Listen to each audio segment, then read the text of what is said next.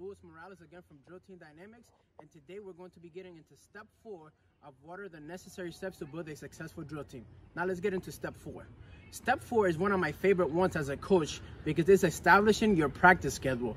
What I mean by this, depending if you practice Monday through Friday or you practice Monday through Saturday, if you're getting some time during the weekend, this is where you divide what category has its own day.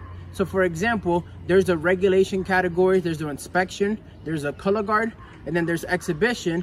And if you go to Daytona Beach, Florida, you do know that you have your two exhibitions. For example, an arm team has the platoon exhibition and the squad exhibition.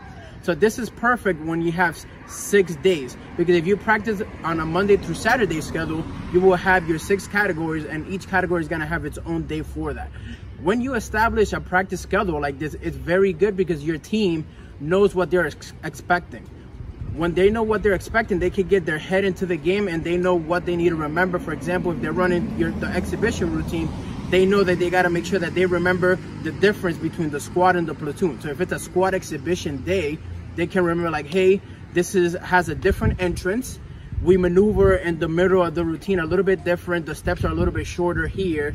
And this routine doesn't have a ripple effect over at that end of the floor.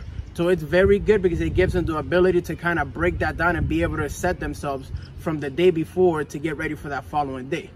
Once you have that established, keep it because this is going to be very important. Your team is going to get on a routine and they know what's going to be coming every single day.